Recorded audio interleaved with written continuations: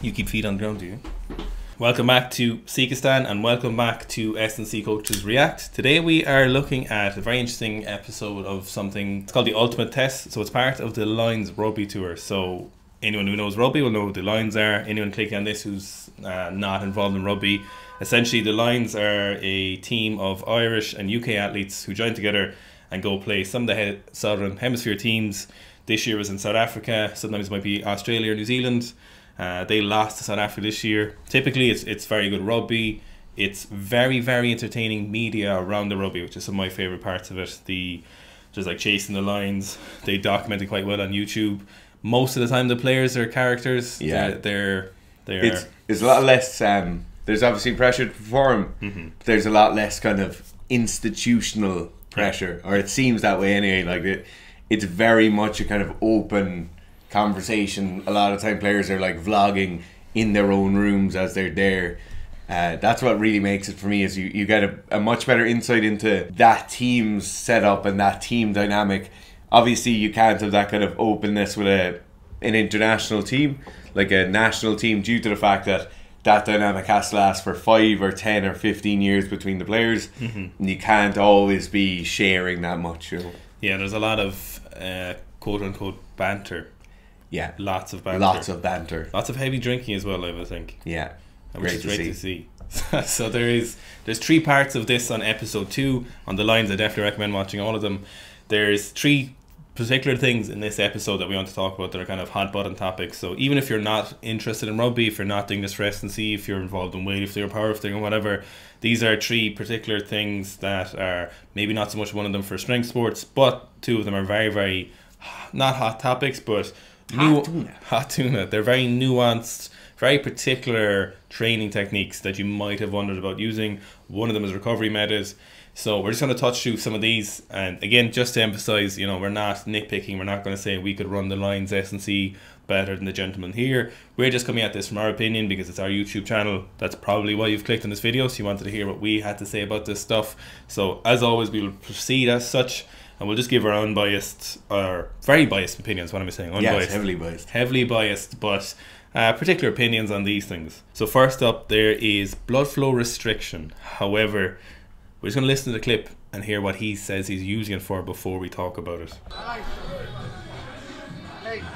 What's going on there? Just occlusion cuff, just warming my knees up. So, Duhan van der Meer, Mary, Mary, says he's using an occlusion cuff, butchered his name, for warming up his knees. Fits him.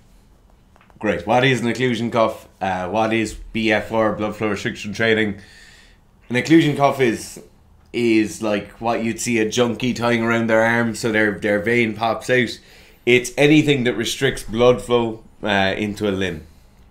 Obviously, you wouldn't want to restrict blood flow anywhere else.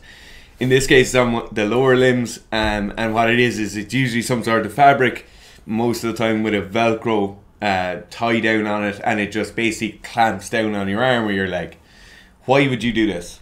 So, in hypertrophy training, a lot of the time what you're looking for is this real big increase or noted increase in the level of blood that's within a capillary bed. You'll then get breaking down of that capillary bed.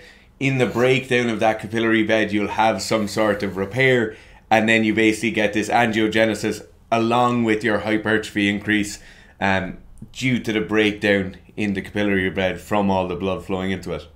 When we do blood flow restriction training, what we're doing is limiting the amount of blood in the arm.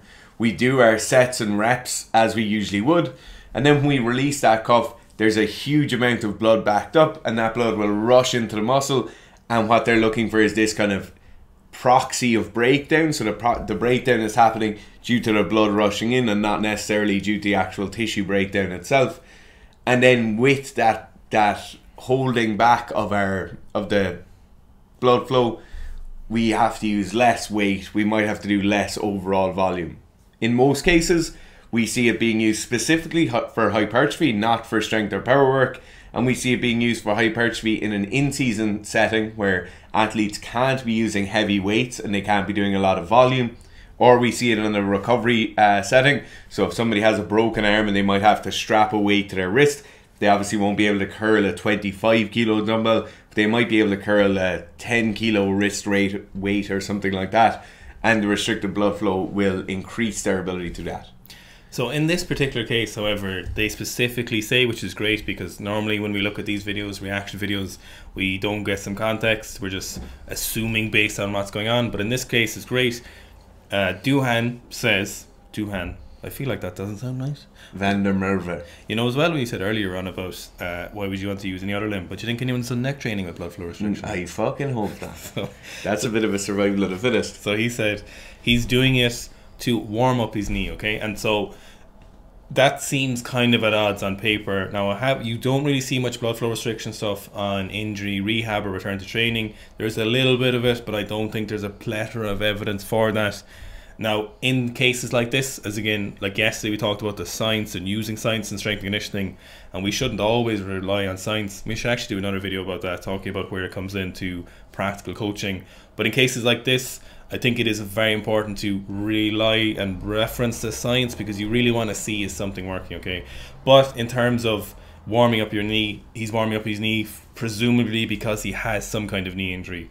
So typically when we're warming up, we want to do just that, increase the temperature of our tendons, ligaments and muscles, increase the rate of blood flow going there. So that would seem at odds initially if you are looking at restricting the blood flow to that point. So it doesn't seem like it would make a whole lot of sense.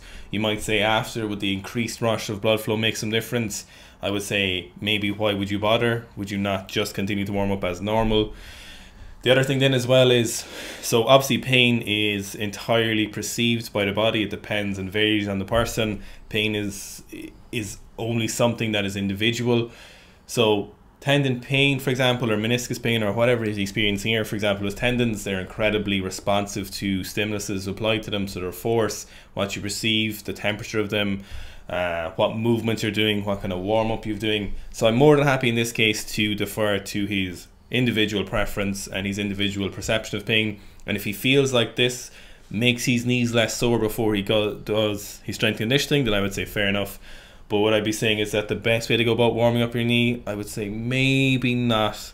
I could see this being just kind of no reason. You can just say no. I just could say no. Like I just couldn't see why this would would be doing anything. To be honest, Yeah. I, I don't see like it makes sense.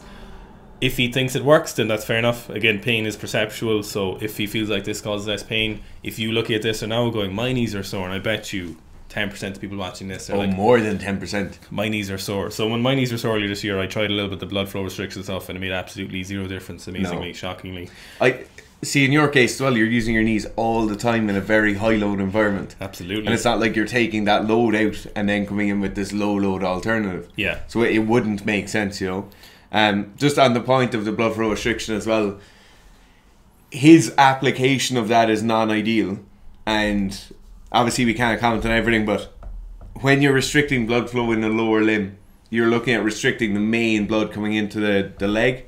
So like main uh, avenue for blood coming into the leg is on the medial side of our leg.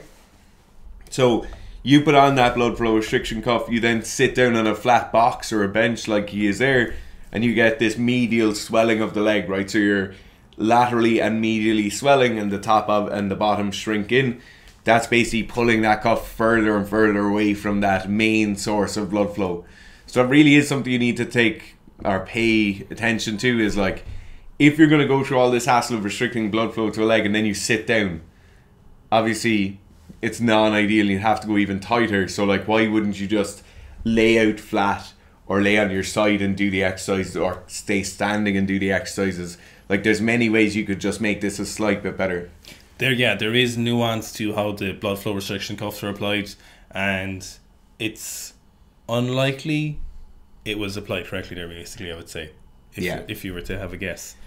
Uh, and there is real nuance and i think we can do it. We wouldn't have No, a no, either. no, like you need clinical practice you need understanding of anatomy you need someone to help you with it and show you the correct methods um, same way you a junkie might know how to do it but Yeah. you'd prefer a nurse to take your blood as opposed to a junkie. The there's a very good meta-analysis on it literally a just came taking people's blood? Right. It literally just came out on blood flow restriction training in rehab of athletic populations so if you want that we might link it in the, the old description down below.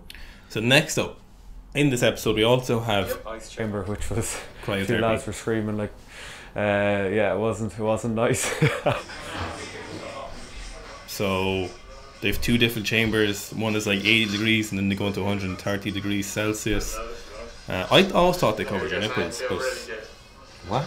no, I, I, but, it, but if you cover your hands and your head and your mouth and stuff, why would you Your not? nipples aren't fucking. Yeah, but why would you not cover your nipples? So they go in. So cryotherapy obviously is a very very common thing we know about. There's nothing particular about the nuance of the way they're using the cryotherapy here. Uh, cold water immersion therapy is something that is almost synonymous with rugby. It's hugely part of rugby, I think, in a lot of countries. Cold water. Now I know cold water immersion therapy and cryotherapy are a little bit different, but they're on the same spectrum of recovery tools looking at the research from cold water therapy and cryotherapy, it's essentially just neutral. There is no. It's 50 50 if it does something, basically. Like, it, it's one of the most kind of contentious issues in terms of sports recovery. You'll find people who will die on a hill for cold water and cryotherapy recovery work. You'll find other people who will say it's almost certainly a negative for athletes.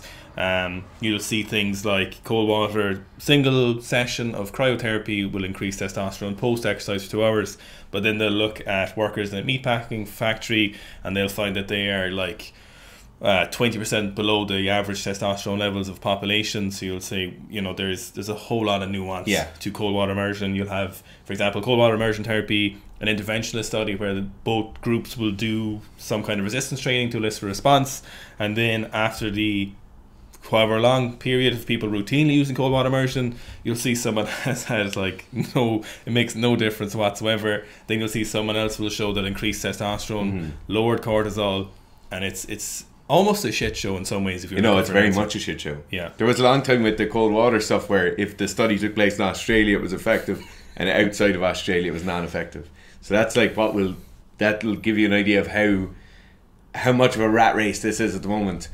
Let's just cut it back a small bit, right, and look at why you might want to use cryotherapy, ice something after it's injured. We've all heard of like rest, ice, compression, elevation. First thing you're doing with ice is you're limiting inflammation, right? So usually you get a constriction of blood flow to the area. Second time talking about it today. That ice brings down the temperature in the injured area or the used area. It will then limit the amount of, of kind of factors going on within that tissue. So if you imagine if I was to tear my arm open right now, there would be a huge hormonal response happen within that arm that would send things like clotting factors, healing factors, all that good stuff will come to the area. When we limit that reaction with, with ice, basically what we're looking to do is say, uh, when you were just squatting there, we'll just cut that owie off for a second. We'll just hold that back, and then you can go squat again later, and it won't be as as owie, right? There are issues here, and there are issues with limiting inflammation in almost every application. Now, certain applications where we have an injured person taking anti-inflammatory drugs like NSAIDs, um, using an ice pack is very very effective. Why they're using it here though may not be the most beneficial thing. So when we think about inflammation, inflammation is the driver of almost all adaptation. So even cardiovascular adaptation, a lot of that is being driven by inflammation. When we get a sports team like this using cryotherapy, are they then limiting the amount of physiological adaptation that takes place? I think an interesting thing that Gerf mentioned earlier is why it's so popular in rugby teams. There is definitely something to the contact sports and wanting to limit the amount of information possible. So if they have a tackling session in the morning, they're taking on a lot of kind of non-ideal physiological hurt, right?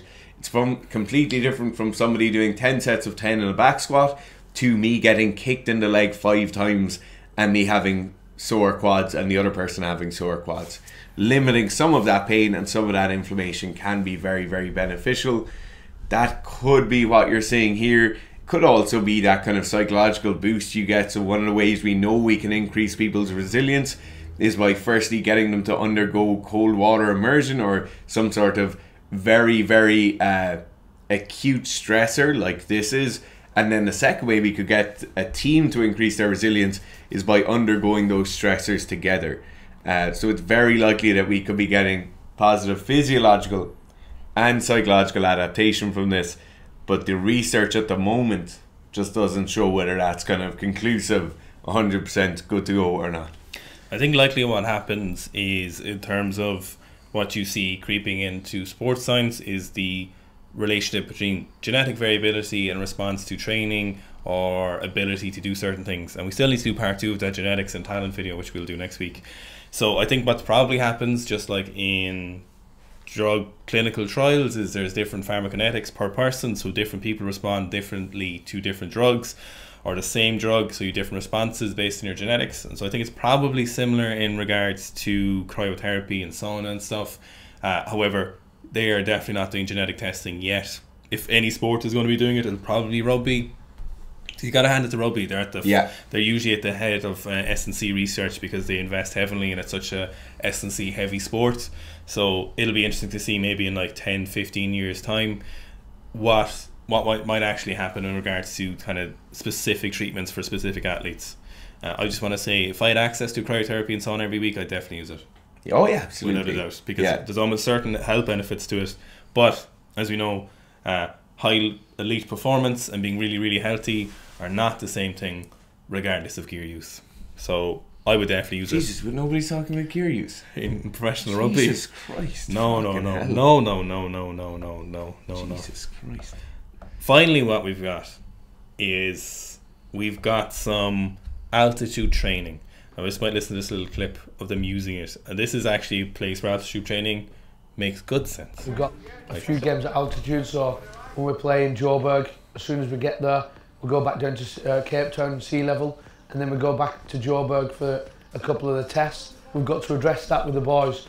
There's a few altitude chambers that we've been using in the Strive gym. Also in our hotel from the altitude centre in London, we've got some individual altitude masks. So the boys get on the watt bike, and then that simulates the oxygen at altitude. So we have So they basically have not an altitude or um, an oxygen or airflow restricting mask. What they have is an oxygen restricting pump per player.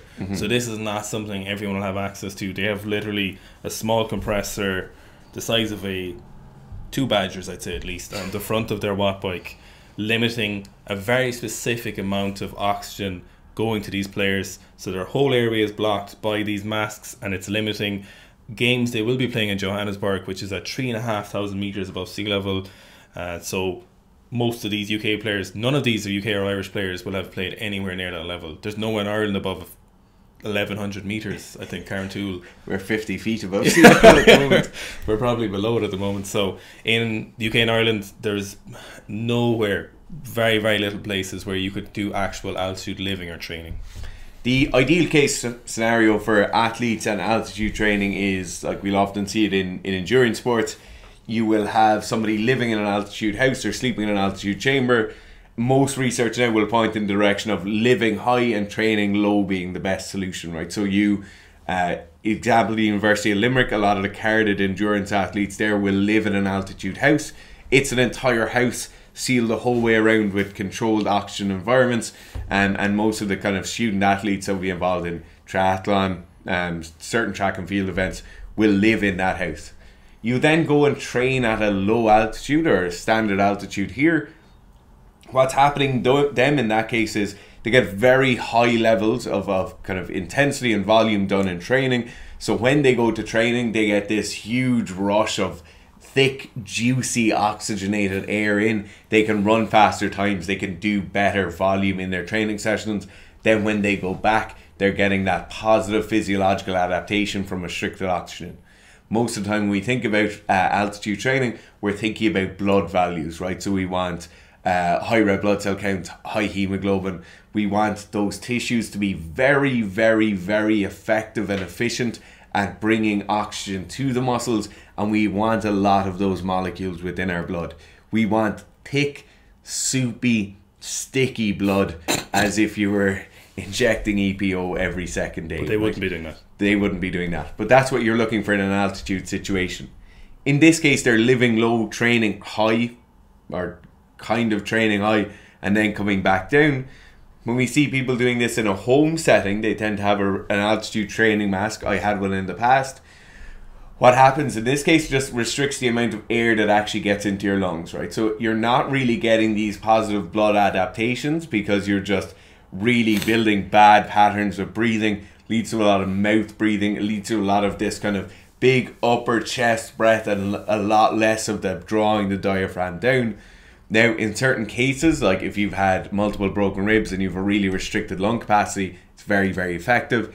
In the case of this, they're doing the correct thing, right? They have altitude masks on that Garth said, as as Garth said, they restrict the amount of oxygen you get, but you still get the same amount of air coming in and out of your mouth.